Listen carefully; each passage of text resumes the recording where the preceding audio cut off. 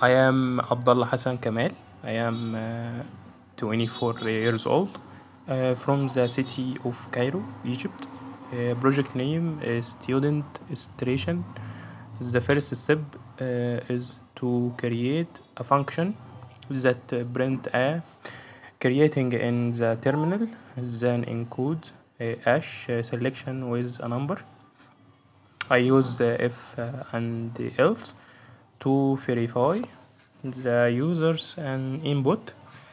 If he does not choose a number from the specific encoding and uh, if the code is completed it is uh, restarted.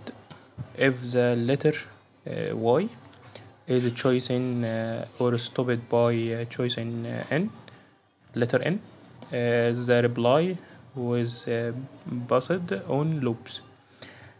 First i will uh, display the name of the student in the list then add Zeus then add search of for Zeus then delete Zeus from the list then choose the letter n and the loop of the code will be closed thank you for L.